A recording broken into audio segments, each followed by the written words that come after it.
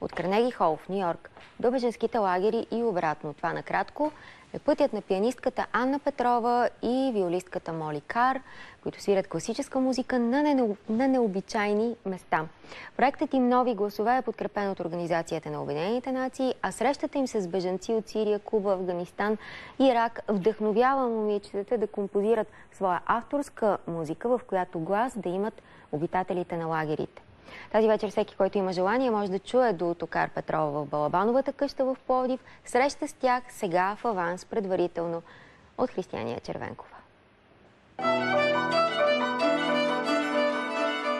Музиката ни лекува. Да.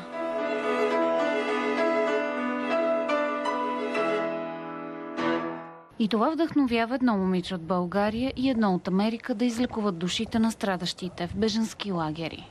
Ани Петрова от Пловдив и Моликар от Нью Йорк. Дуото, което така занесе класическата музика в беженските лагери. Защо? Как се роди тази идея?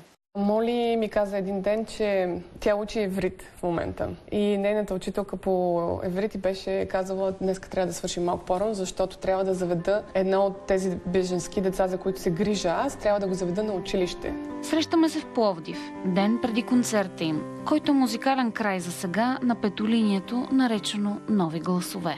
Спонтанно им хрумва идеята да пренесат изкуството си от лъскавите концертни зали в дома на бежанците. Преди година и половина учителката ми по иврит наистина прекъсна часа ни по-рано, защото трябваше да заведе момче от беженския лагер на училище. Много се изненадах, че в Лос-Анджелис има беженци. Това беше буквално спусъкът, който натиснах и си казах, трябва да знаем повече за тези хора. Виждаме лицата на тези хора, чуваме гласа им. Чрез имената им осъзнаваме проблема. Не искаме да замитаме проблемите под килима. Напротив, отидохме в бежанските лагери и се срещнахме лице в лице с хората и свирихме за тях. И ще пренесем техния свят обратно в нашия, в Нью Йорк, в Карнеги Хол.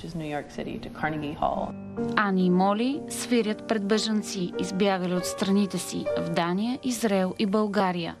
Когато се срещат, емоцията е по-силна от тях и се разплакват. Um, Първото ни впечатление е вау, те са красиви, толкова мили и сладки и ни се радват. Още при първите тонове реакцията на децата беше Леле, какво е това? Беше толкова красиво преживяване.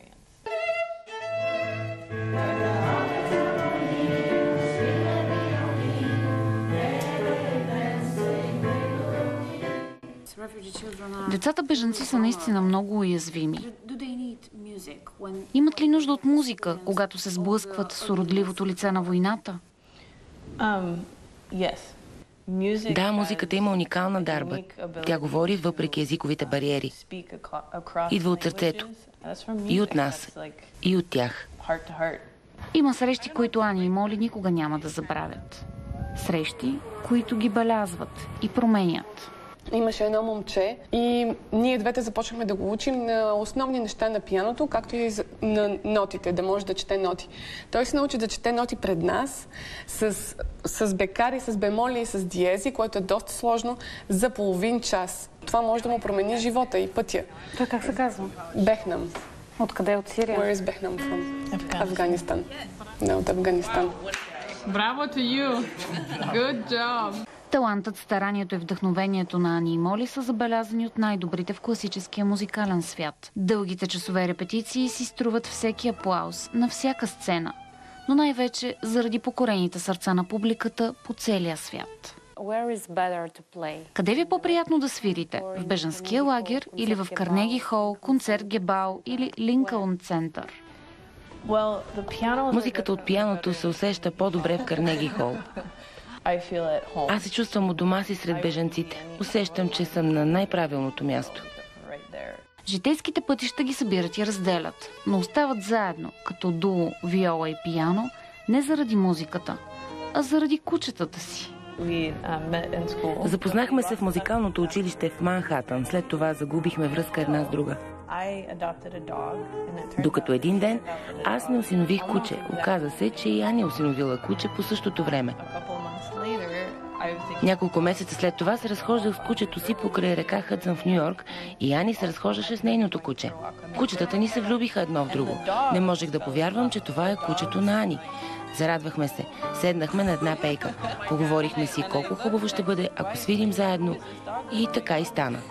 Кучетата ни са виновниците за всичко това. Няма нищо случайно. Бенджи и Били Джин събират Ана и Моли, а двете помагат на хора с тежки съдби, тръгнали по трънливи пътища. В момента те са беженци от техните държави, има конфликт, има война. Но не знаем кога може да се окаже, че и ние можем да бъдем беженци. И от Америка, и от България, и от Европа, че това може да се случи на всички. А най-красивият финал на тази музикална приказка, то тъжна, то радостна ще бъде, ако един ден малкият Бехнам свири на пияно, на сцена извън пределите на лагера за бежанци. Това би променило един живот. Пияното може да бъде повече от просто музика. То може да бъде билет към нов живот. Засъбуди се Християния Червенкова.